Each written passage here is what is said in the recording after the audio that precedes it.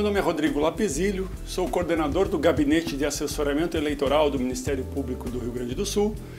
Vamos aqui agora com mais um vídeo institucional em relação ao processo eleitoral das eleições de 2016. Agora nós vamos tratar, vamos abordar as questões relativas ao direito de ser votado, capacidade eleitoral passiva. Nós vamos falar basicamente das condições de elegibilidade e das causas de inelegibilidade. A legislação que nós vamos trabalhar quando se trata de inelegibilidade ou condições de elegibilidade é a Constituição Federal, os artigos 14, 15 e 16, também a Lei Complementar 6490, que é a chamada Lei das Inelegibilidades, que foi alterada pela Lei da Ficha Limpa, que é a Lei Complementar número 135, a Lei 9504, Lei das Eleições, que traz as partes, principalmente na parte relativa ao registro da candidatura, e para o pleito de 2016, a Resolução 23455 do TSE, que dispõe sobre a escolha e o registro dos candidatos nas eleições de 2016. É sempre importante ressaltar que alguém, para concorrer a mandato eletivo, tem que percorrer um caminho.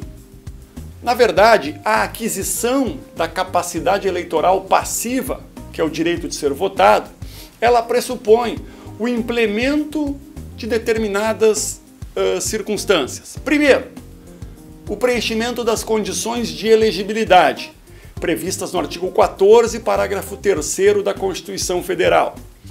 Depois existe também a necessidade de preenchimento das chamadas condições de registrabilidade, que vão estar previstas ou na lei das eleições ou em resoluções.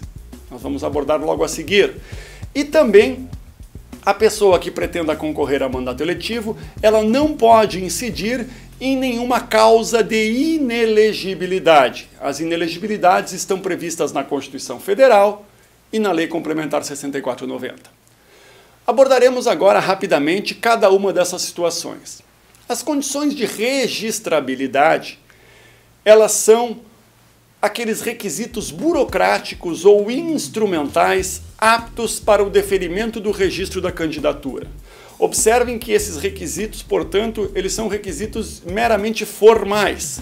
Esses requisitos estão previstos ou em lei ordinária, Lei 9504 no caso, ou nas resoluções do TSE, para 2016, Resolução 23455 de 2015. Essa expressão, condição de registrabilidade, é uma expressão doutrinária. A jurisprudência, seja do Tribunal Superior Eleitoral, seja do Supremo Tribunal Federal, não adota essa expressão. A jurisprudência, ela indefere o registro da candidatura por ausência de documentos reputados essenciais para o registro. Portanto, o que a jurisprudência chama de documentos reputados essenciais para o registro a doutrina chama de condição de registrabilidade, cujo exemplo mais comezinho é a fotografia para o candidato constar na urna eletrônica. Todo candidato para constar na urna eletrônica tem que ter uma fotografia, isso é exigência da lei, complementada pela resolução, e se não houver se não for acostada a fotografia ao registro da candidatura, o juiz deve oportunizar o suprimento dessa omissão em diligência no prazo de 72 horas e, havendo a permanência dessa omissão, sendo inerte, portanto, o candidato, pode haver o indeferimento do registro da candidatura por ausência de um documento reputado essencial ou ausência de condição de registrabilidade. Também um candidato a mandato eletivo deve preencher as denominadas condições ou requisitos de elegibilidade. O artigo 14, parágrafo 3 da, da nossa Constituição Federal, elenca seis condições de elegibilidade: nacionalidade brasileira, pleno gozo dos direitos políticos, alistamento eleitoral, domicílio eleitoral, filiação partidária e idade mínima. Evidentemente, que, tendo o caráter objetivo desse nosso encontro, nós vamos apenas uh, fazer apontamentos sobre aquelas situações que reputamos mais relevantes para esse nosso encontro. Evidentemente que no material a ser fornecido posteriormente pelo gabinete eleitoral vão ter todos os requisitos necessários de consulta para os colegas e o gabinete vai ficar sempre à disposição para eventual dúvida. Primeira situação que gostaria de pontuar é a respeito da chamada quitação eleitoral. Quem não possui quitação eleitoral acaba não tendo o pleno gozo dos direitos políticos, ou seja, a ausência de quitação eleitoral importa numa ausência de condição de elegibilidade, especificamente a elegibilidade do pleno exercício dos direitos políticos, previsto no inciso 2, portanto, do parágrafo 3 do artigo 14 da Constituição Federal. O conceito de quitação eleitoral, ele é dado pela lei ordinária, pela lei 9504, mais especificamente no artigo 11, parágrafo 7, que diz que a certidão de quitação eleitoral abrangerá exclusivamente, no caso que nos importa, a apresentação das contas de campanha eleitoral. Observem aqui, colegas, que eu estou falando da quitação eleitoral exclusivamente sob a ótica da prestação de contas de campanha. Todos nós sabemos um candidato, quando participa de uma eleição, ele deve, ao final, prestar contas dos recursos arrecadados e dos gastos eleitorais realizados para a Justiça Eleitoral. A prestação de contas do candidato é uma exigência legal e todo candidato, portanto, deve fazê-lo perante o juiz eleitoral. Ao final, o juiz eleitoral pode desaprovar as contas do candidato, aprovar as contas com ressalvas aprovar as contas totalmente, né? Ou ainda julgar as contas não prestadas. Portanto, são quatro hipóteses: aprovação total, aprovação parcial, desaprovação e não apresentação de contas. Observem os colegas que o conceito de quitação eleitoral, ele diz que não terá quitação eleitoral apenas o candidato que não apresentar as contas de campanha. Observem a redação do artigo 11, parágrafo 7 a certidão de quitação eleitoral abrangerá exclusivamente a apresentação das contas. Então, o candidato, apresentando as contas tempestivamente, ele não vai ter nenhuma consequência jurídica negativa. O que significa dizer que a desaprovação das contas de campanha pelo juiz eleitoral não afasta a quitação eleitoral. A desaprovação das contas de campanha, na verdade, ela não tem por si só nenhum reflexo negativo no status jurídico do candidato, seja em relação ao diploma que vai ser concedido, seja em relação à própria quitação eleitoral. Então, essa é a observação importante em relação à quitação eleitoral. Somente a não apresentação tempestiva das contas é que impede a obtenção dessa certidão eleitoral. Em relação ao domicílio eleitoral, é importante sempre consignar que o conceito de domicílio eleitoral ele é muito mais amplo que o conceito de domicílio civil. O conceito de domicílio civil, conforme o artigo 70 do Código Civil, ele pressupõe a intenção da pessoa fixar domicílio em determinado local. Ele pressupõe, portanto, um elemento subjetivo de fixação de domicílio. O domicílio eleitoral que é definido pelo artigo 42, parágrafo único do Código Eleitoral, ele é muito mais amplo e ele admite a sua comprovação através de vínculos. O conceito de domicílio eleitoral, na verdade, ele é muito mais elástico que o do direito civil e ele se satisfaz com a demonstração de vínculos políticos, vínculos econômicos, vínculos sociais ou vínculos familiares do candidato com aquela determinada circunscrição a questão da filiação partidária. A Lei 13165, que é de 29 de setembro de 2015, ela mudou o prazo de filiação partidária. A filiação partidária, que era de até um ano antes do pleito, passou a ser no prazo de seis meses antes da eleição. Ou seja, a filiação deve estar deferida pelo partido político no prazo mínimo de até seis meses antes da eleição. Essa é a regra que está estabelecida no artigo 9 da lei das eleições. Então, para as eleições de 2016, a filiação pode ser feita até 2 de abril de 2016, evidentemente.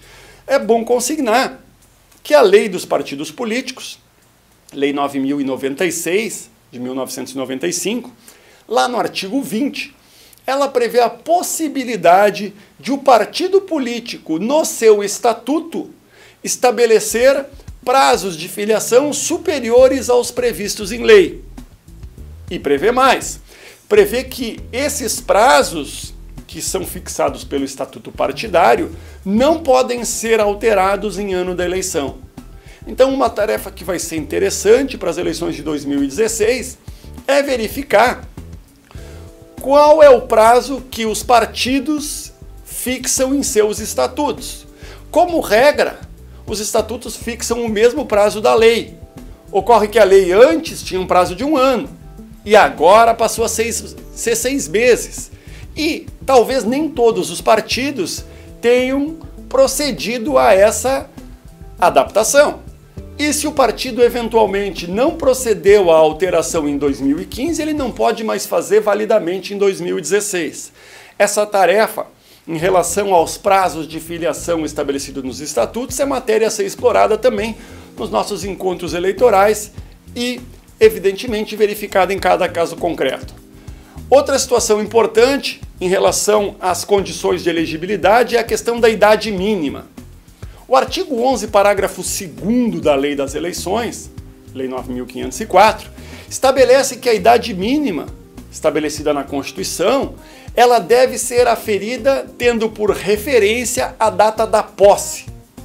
Ocorre que essa regra sofreu uma alteração importante também pela Lei 13.165 de 2015, que, mantendo a regra de que a idade mínima vai ser aferida na data da posse, estabeleceu exceção, que é no caso dos vereadores, ou seja, quando a idade mínima é fixada em 18 anos, o legislador diz que esse prazo da idade mínima de 18 anos, ele deve ser aferido na data limite para o pedido do registro da candidatura.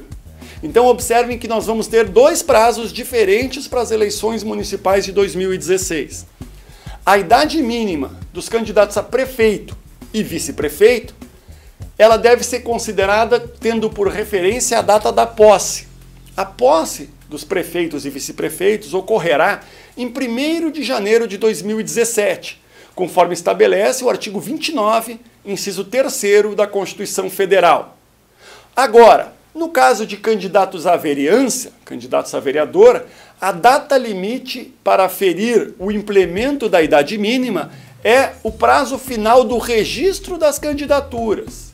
Ou seja, todo e qualquer candidato a vereador tem que completar 18 anos até o dia 15 de agosto de 2016.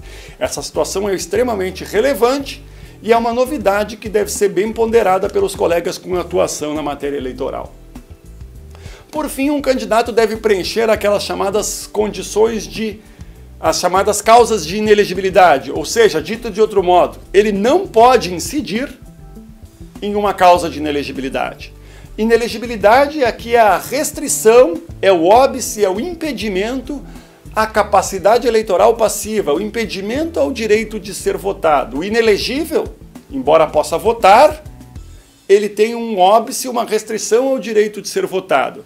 Em relação à inelegibilidade, nós temos sempre que aferir que no direito eleitoral brasileiro nós só vamos encontrar causas válidas de inelegibilidade em dois dispositivos.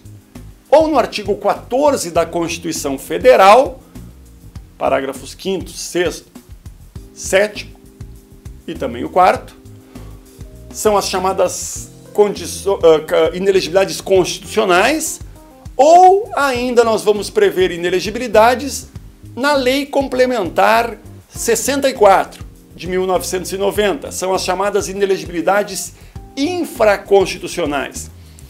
A Lei Complementar 6490 só prevê inelegibilidade no artigo 1.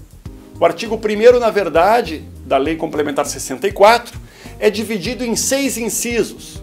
O inciso 1 trata de inelegibilidades absolutas, ou seja, inelegibilidades para todos os cargos, e os incisos 2 até 6 tratam das inelegibilidades relativas, que são aquelas inelegibilidades que incidem em determinados cargos e por força de algumas circunstâncias específicas.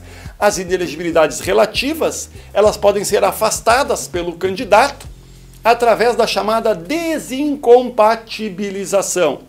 Desincompatibilização nada mais é do que o afastamento voluntário do candidato daquele cargo que ocupa para que possa validamente postular a mandato eletivo.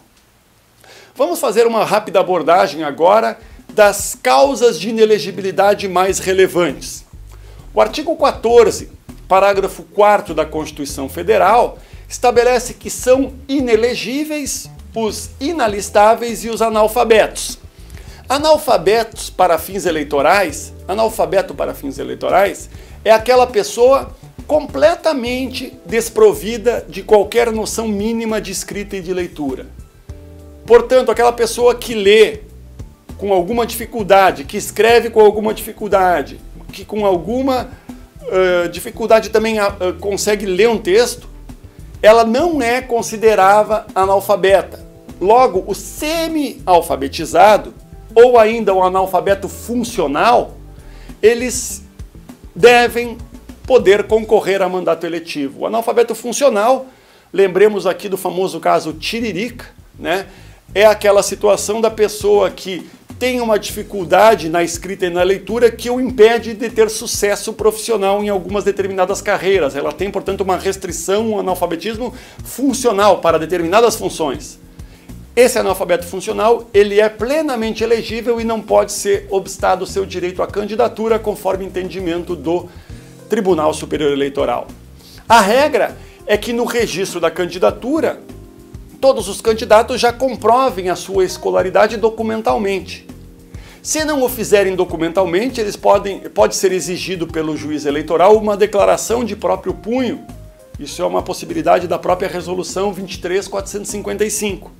Contudo, se houver dúvida razoável ao juiz ou ao promotor, no caso, sobre essa condição da, do alfabetizado, da, da situação de alfabetizado, é possível, em caráter subsidiário, repito eu, que, havendo dúvida fundada sobre essa condição de elegibilidade lato senso, que se exija do candidato, que se submeta o candidato aos chamados testes de analfabetismo, que são proposições simples do dia a dia, que devem ser aplicadas de modo individual e reservado, vedado, portanto, a prova de caráter coletivo, para que se verifique então o implemento dessa situação prevista no artigo 14, parágrafo 4 da Constituição Federal. O artigo 14, parágrafo 5 ele prevê a chamada reeleição. Ele prevê que, os, que os, o prefeito, por exemplo, e quem houver sucedido ou substituído no curso do mandato, pode ser reeleito para um período subsequente. O que é importante em relação à questão da reeleição? Alguns lembretes rápidos. Primeiro, a Constituição Federal, na forma concebida lá pelo legislador constituinte de 1988, vedava a reeleição, que só veio a ser instituída a partir da emenda constitucional 16 de 1997. Portanto, houve uma mudança na cultura através uh, jurídica, né? através da introdução da emenda da reeleição que começou a valer a partir das eleições de 1998. A reeleição, segundo decidido pelo TSE, ela pode ocorrer sem a necessidade de desincompatibilização, ou seja, o candidato a prefeito ele pode concorrer à reeleição e permanecer exercendo o cargo de prefeito. Observe que o artigo 14, parágrafo 5 fala em sucessão e substituição. A sucessão ocorre em caráter definitivo, como nos casos de cassação, de renúncia, de falecimento. A substituição, de outro lado, ocorre nas ausências eventuais, em caso de férias, em caso de licença. Qual é a leitura correta do artigo 14, parágrafo 5 da Constituição Federal? É que pode se beneficiar da reeleição o prefeito e aquele que houver sucedido a qualquer tempo o prefeito, ou que houver substituído o prefeito nos últimos seis meses anteriores ao pleito. A eleição, a reeleição, melhor dizendo, ela é permitida para um período subsequente, que é o mandato que se inicia logo após aquele que se encerra. Qual uma conclusão importante que o TSE teve, que foi referendada pelo Supremo Tribunal Federal? Foi a vedação da recandidatura dos chamados prefeitos itinerantes. O que é a situação dos prefeitos itinerantes? Determinada pessoa, por exemplo, era prefeito em um município, concorria à reeleição no período imediatamente subsequente no mesmo município e após postulava um terceiro mandato trocando de domicílio eleitoral. Por exemplo, concorria em Porto Alegre no mandato, na legislatura de novo era eleito prefeito em Porto Alegre e depois na eleição, terceira eleição seguida, ia concorrer em Canoas, por exemplo. O TSE entendeu que isso caracterizaria uma burla ao sistema republicano, o princípio republicano que então permite a todos igual acesso aos mandatos eletivos. O princípio republicano trabalha com a renovação dos mandatos e instituía uma forma de político profissional. Então o TSE concluiu e foi referendado pelo Supremo em repercussão, uh, em caso de repercussão geral, né, no recurso extraordinário 637485, que a troca de domicílio eleitoral, que é um ato em tese lícito, não pode servir para o objetivo de fraudar a lei no sentido de vedar a, a aplicação do princípio republicano, que é o princípio de permitir a todos o exercício de mandato eletivo. Portanto, o TSE e o Supremo vedam uma terceira candidatura subsequente, ainda que em circunscrição diversa, porque isso configura a chamada eh, figura do prefeito itinerante, que é terminantemente proibida pelo legislador, pelo intérprete da legislação eleitoral. O prefeito, se quiser concorrer a outro cargo que não aquele que ele esteja ocupando, ele deve renunciar ao seu mandato seis meses antes do pleito. Essa é a regra do artigo 14, parágrafo 6 da Constituição Federal. Essa renúncia é em caráter definitivo e essa regra ela tem aplicação estrita ao titular do Poder Executivo. Ela não se aplica ao vice, exceto, evidentemente, se o vice substituir o titular nos últimos seis meses antes do pleito ou suceder. Nesse caso, então, como o vice estaria no exercício do mandato eletivo, ele seria atingido por essa regra do parágrafo 6. O parágrafo 7 trata da inelegibilidade pelo parentesco, diz que são inelegíveis no território da jurisdição do titular os cônjuges e os parentes consanguíneos ou afins até em segundo grau do titular do executivo, no caso aqui vamos trabalhar com o prefeito municipal, essa regra tem algumas situações importantes. Quando fala em titular da jurisdição, titular da jurisdição aí significa quem ocupe a mesma circunscrição. O conceito de circunscrição no direito eleitoral é dado pelo artigo 86 do Código Eleitoral. E nas eleições municipais, a circunscrição é o próprio município. Nas eleições gerais, depende. Se for eleição presidencial, a circunscrição é todo o país. E se for eleição estadual e federal, a circunscrição é o Estado. Então, essa expressão jurisdição do titular, leiam, colegas, circunscrição. O que, que diz a regra do artigo 14, parágrafo 7? Que o titular do cargo do Poder Executivo e quem houver sucedido ou substituído vai ter os seus parentes ou cônjuges inelegíveis. Então, uma espécie de inelegibilidade acessória ou uma inelegibilidade decorrente de terceira pessoa. Quando se fala em cônjuges e parentes, se entende aqui incluídas até as uniões homoafetivas, segundo decisões do TSE.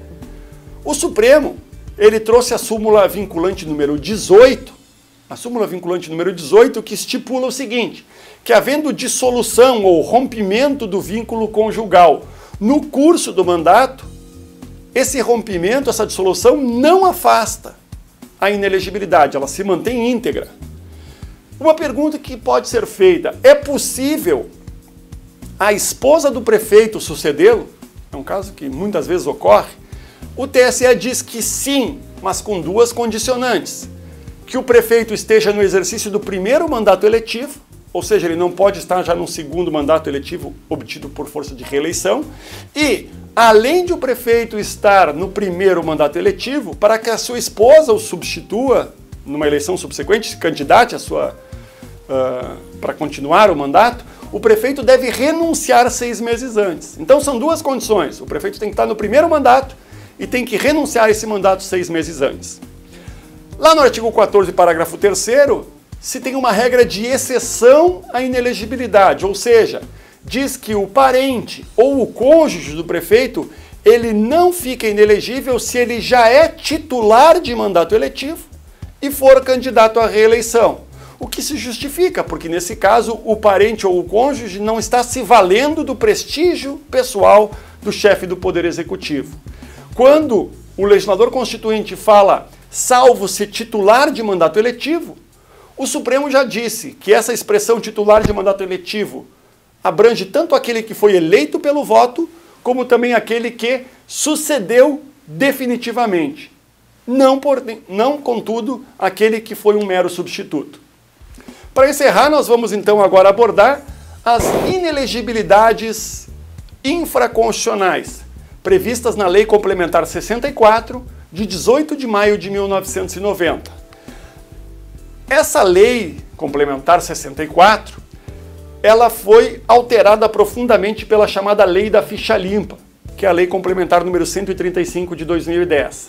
A Lei da Ficha Limpa foi debatida no Supremo na ação declaratória de constitucionalidade número 29, na ação declaratória de constitucionalidade número 30 e na ADI número 4578, todas da relatoria do ministro Luiz Fux, quando o Supremo decidiu que a configuração de uma inelegibilidade por uma condenação por órgão colegiado, ou seja, ainda que a condenação não seja definitiva, não seja transitada em julgado, não ofende o princípio da presunção de inocência, porque o princípio da presunção de inocência tutela o direito individual de liberdade e aqui na esfera eleitoral a interpretação é para proteger os direitos meta-individuais da coletividade. Nós estamos aqui falando de direitos políticos, que é uma dimensão diferente do direito individual à liberdade.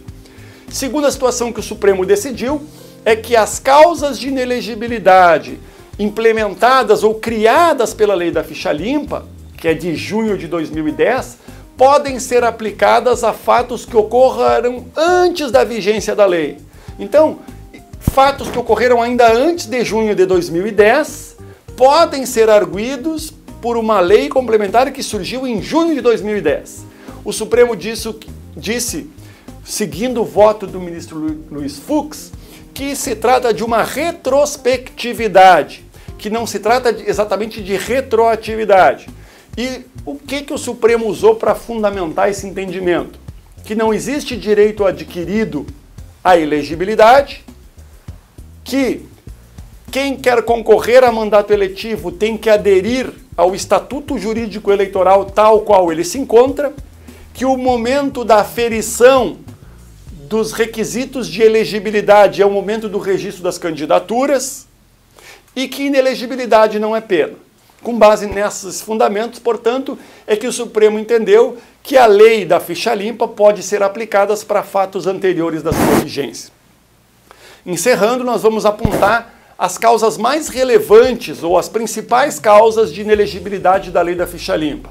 Vai ser, evidentemente, uma abordagem extremamente rápida, porque esse é o objetivo do nosso encontro.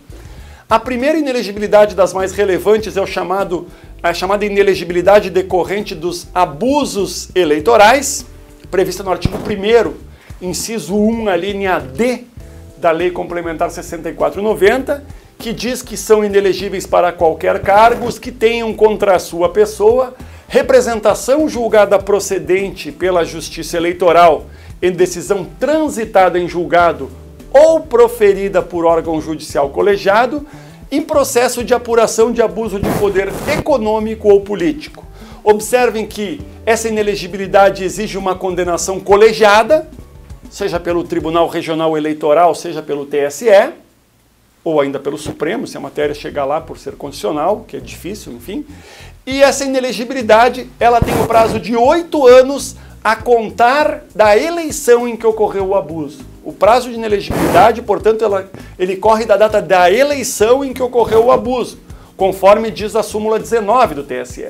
Essa inelegibilidade é aplicável, por exemplo, no caso de ação de investigação judicial eleitoral, que é aquela prevista no artigo 22 da Lei Complementar 6490.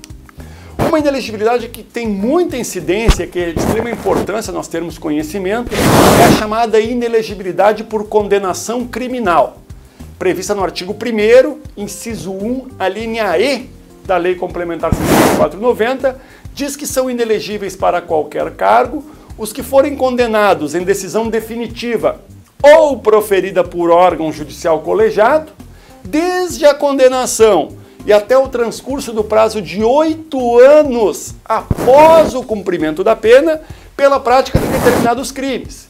E vocês vão verificar, analisando a legislação, que o legislador foi extremamente generoso e trouxe 10 itens de inelegibilidade. Quer dizer, tem muito crime que é gerador de inelegibilidade por condenação criminal. Observação: essa inelegibilidade ela nasce da decisão definitiva ou da decisão proferida por órgão judicial colegiado.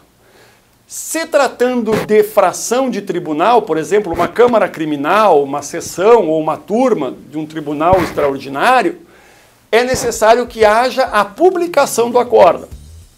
Mas se entende, e é jurisprudência do TSE, que o conselho de sentença do tribunal do júri também é órgão colegiado para fins dessa inelegibilidade. Na verdade, nós temos que entender também que existe uma regra que excepciona essa inelegibilidade por condenação criminal. O artigo 1 parágrafo 4 da Lei Complementar 6490 estabelece que a inelegibilidade por condenação criminal não se aplica em três situações: nos crimes culposos, nos crimes de menor potencial ofensivo e nos crimes de ação penal privada. Outra inelegibilidade importante é a inelegibilidade prevista na linha G, que é a decorrente da rejeição de contas do administrador público. Observem que a legislação fala que gera inelegibilidade a rejeição de contas por irregularidade insanável que configure ato doloso de improbidade administrativa. O legislador foi extremamente infeliz em exigir configuração de ato doloso de improbidade administrativa numa decisão de rejeição de contas que vai ser dada ou por um órgão político, que é a Câmara Municipal, ou por um órgão técnico, que é o Tribunal de Contas. Na verdade, ato doloso de improbidade administrativa é um juízo de valoração feito pelo Poder Judiciário, jamais pelo Tribunal de Contas, tampouco pelo Poder Legislativo. O TSE, contudo, entendeu que para comprovar, para se demonstrar essa que essa irregularidade insanável é um ato doloso de improbidade, o que, que o TSE diz? Que é suficiente a demonstração do dolo genérico ou eventual na observância dos comandos legais ou contratuais. Essa tem sido o entendimento do TSE.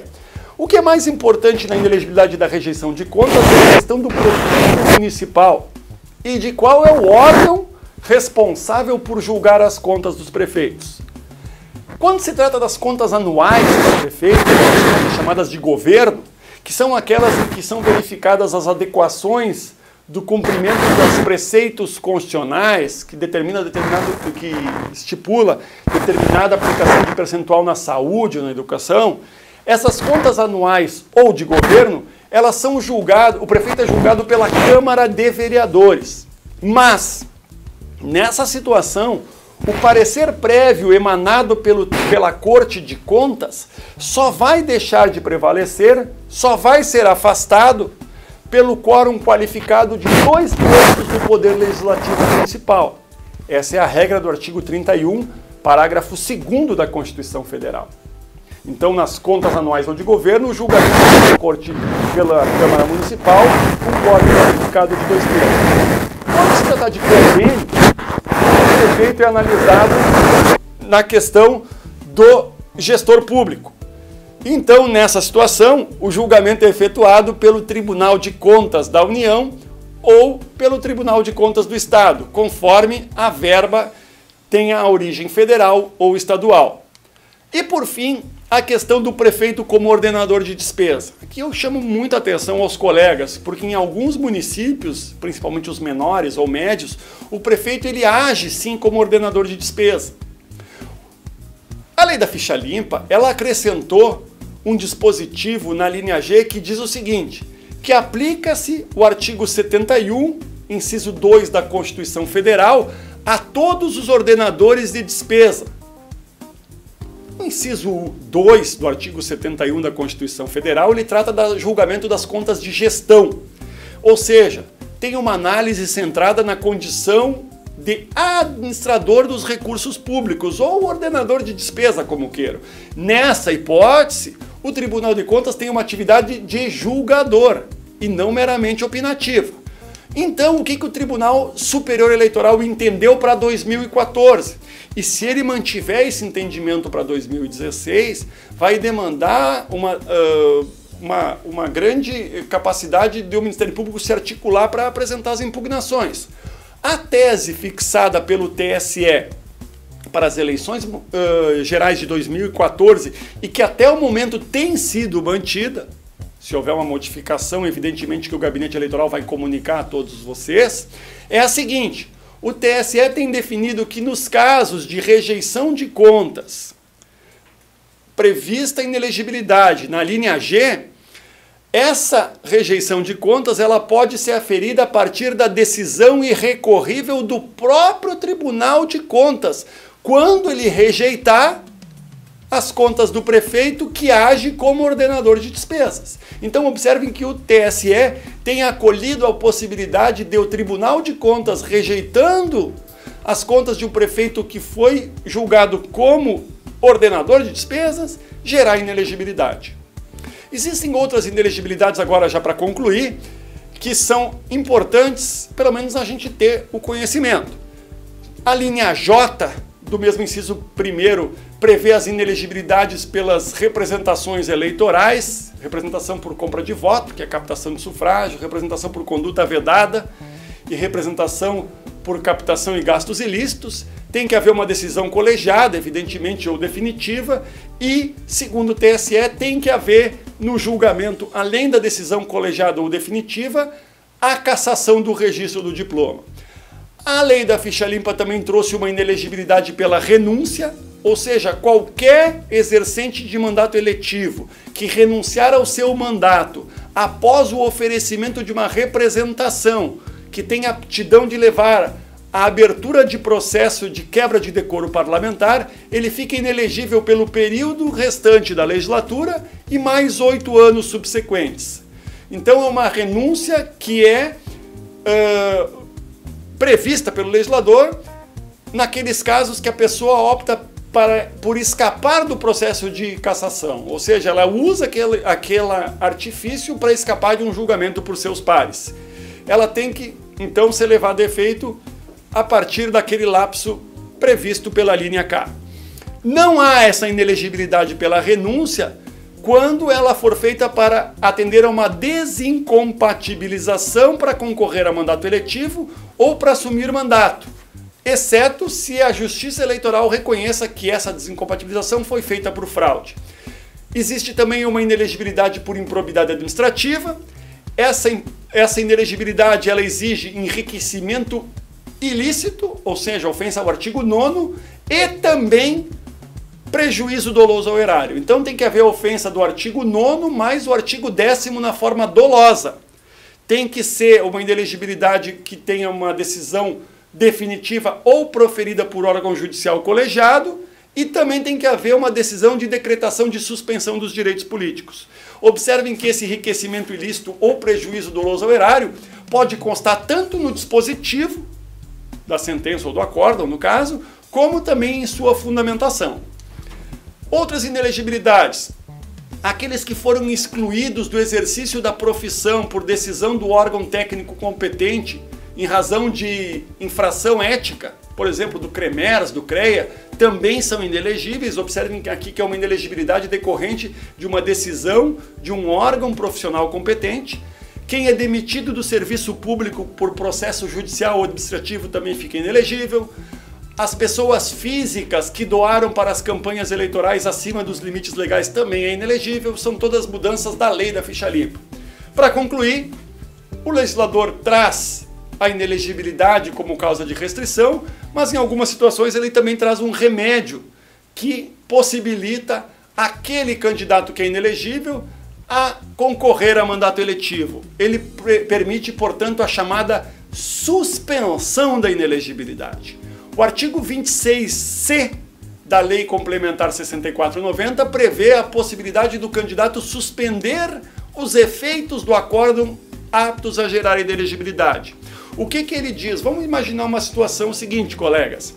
Determinado candidato é condenado pelo Tribunal de Justiça. Vamos pegar uma Câmara Criminal do Tribunal de Justiça que condena alguém por peculato, crime contra a administração pública, decisão por órgão judicial colegiado. O que, que o 26C permite? Que essa pessoa que foi condenada, quando ofereça recurso ao STJ, que é o órgão superior, que é a instância superior àquela que condenou, ele possa pedir ao STJ a suspensão cautelar dessa inelegibilidade.